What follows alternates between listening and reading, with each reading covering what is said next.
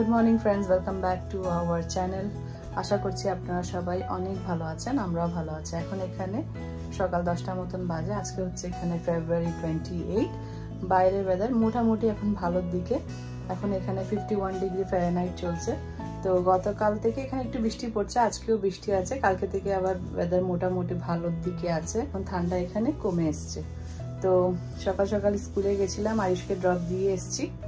মা আর আমার জন্য চা বানিয়েছি। তো বাবা চা খায় না। এখনও ঘরের কোনো কাজকর্ম করা হয়নি। এখন চা খেয়ে শুরু করব। আসলে গতকালকে আমি এখন এই কালারের লিপস্টিকটা লাগিয়ে আছি। গতকাল পিয়ুষে বাইরে গেছিল ফ্রেন্ডদের সাথে বেড়াতে। সারপ্রাইজ আমাদের দুজনের জন্য দুটো লিপস্টিক নিয়ে এসছে, মার জন্য আর আমার জন্যে। এটা হচ্ছে অ্যানাস্তেশিয়া বেভারলি হিলসে ক্যাথরিন আমার জন্য এনেছে ক্যাথরিন এই কালারের লিপস্টিক তো আজকে সকালে আমি একটু লাগিয়ে দেখলাম কেমন লাগছে। মোটামুটি ভালোই লাগছে। আমার খুব ভালো লেগেছে। তো সারপ্রাইজ এনেছে। সারপ্রাইজ পেতে গিফট পেতে কারোর কার না ভালো লাগে।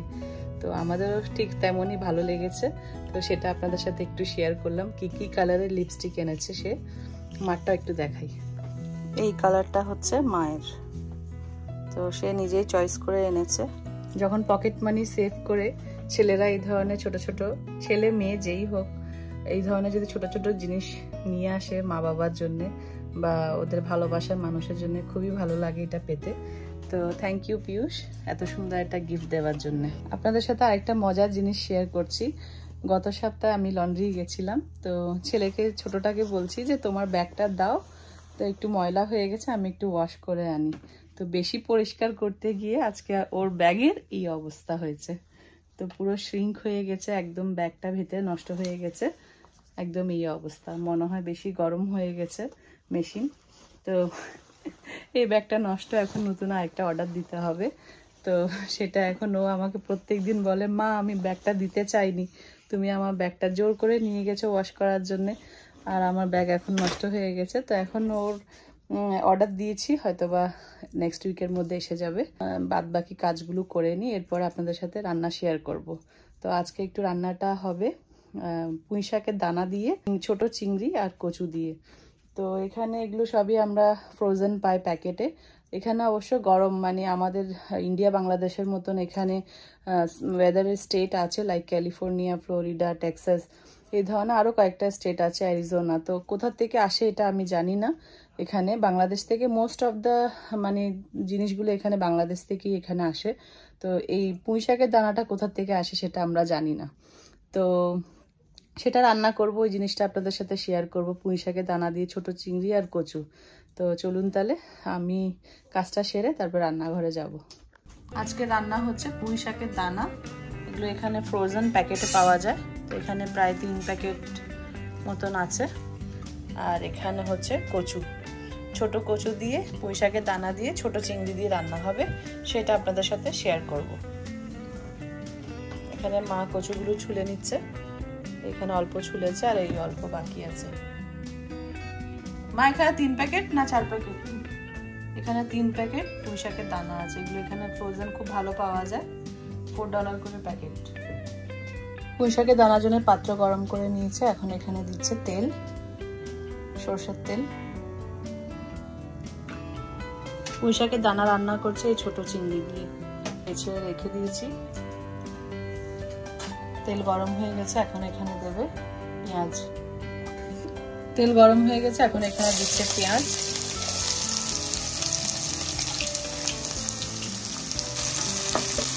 গোল্ডেন ব্রাউন করে ভেজে নেবে।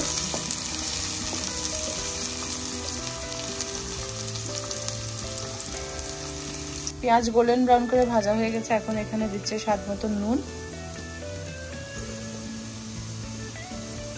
ছোট এক চামচ হলুদ।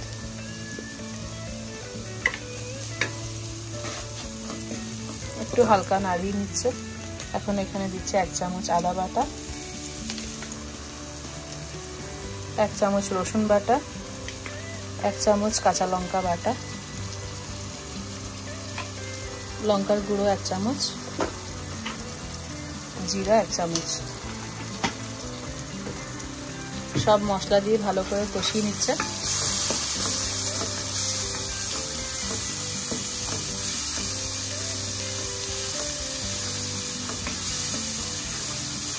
ভালো করে মশলা কষানো হয়ে গেছে, এখন এখানে চিংড়ি মাছগুলো দিচ্ছে।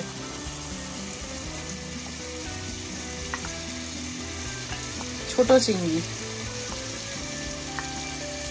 দিলে টেস্ট হবে তাজা তো না সব ফ্রোজেন ফ্রোজেন চিংড়ি মানে তাজা চিংড়ি হতো তাহলে আরও অনেক বেশি টেস্ট হতো এটা। এখানে বসে যে এটা পাচ্ছি সেটাই। আমেরিকায় বসে এটা পাওয়াটা ওটা অনেক বড় একটা ব্যাপার।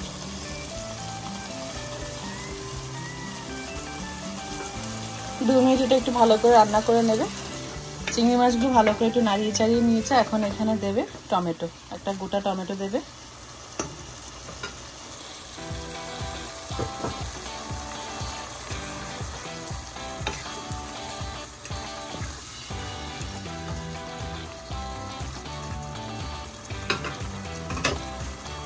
তিন চার মিনিটের জন্য ঢাকনা দিয়ে রেখে দেবে এভাবে। তিন চার মিনিট হয়ে গেছে, এখন একটু ঢাকনাটা তুলে এখানে অ্যাড করবে পুঁই শাকের দানা। চিংড়ি মাছের সুগন্ধিটা খুব সুন্দর বেরিয়েছে। পুঁই শাকের দানা দিয়ে আবার একটু কষাবে। কচুটা একটু পরে দেবে না লাস্টের দিকে। নাহলে বেশি গলে যাবে। এখানে সবজিগুলো খুব তাড়াতাড়ি গলে যায়।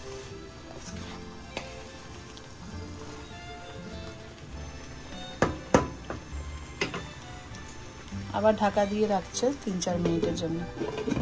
ঢাকনা উল্টে কিছুক্ষণ পর পর নাড়িয়ে দিতে হবে।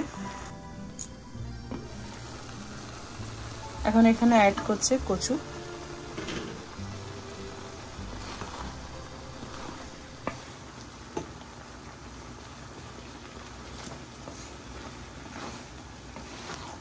কচু আর বেশিক্ষণ কষাবে না, কেন খুব তাড়াতাড়ি নরম হয়ে যায়, গলে যায়। গরম জল ওখানে করে রেখেছে। গরম জল করে রেখেছে, এখানে এখন গরম জল অ্যাড করবে দু তিন মিনিট পরে। দু তিন মিনিটের জন্য কচুটা দিয়ে একটু কষিয়ে নিয়েছিল মশলার সাথে।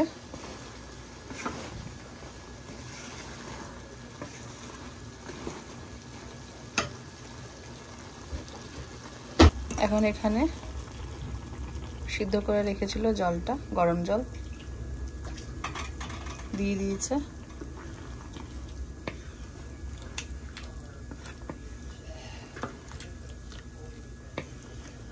পুঁই শাক দিয়ে কচু দিয়ে।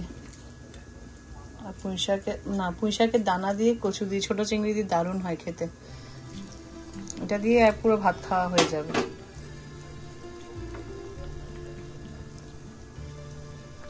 রান্না প্রায় শেষের দিকে দশ মিনিটের জন্য ঢাকা দিয়ে রেখে দিয়েছে। দশ মিনিট হয়ে গেছে। আজকের আমাদের পুঁই শাকের দানা কচু দিয়ে রান্না হয়ে গেছে। তো ফ্রেন্ডস এই রান্নাটা যদি আপনাদের একটুও ভালো লাগে প্লিজ একটা লাইক করবেন কমেন্ট করবেন সাবস্ক্রাইব করবেন। সবাই ভালো থাকবেন, সুস্থ থাকবেন, দেখা হবে আরেকটা নতুন ভিডিওতে বাই টেক কেয়ার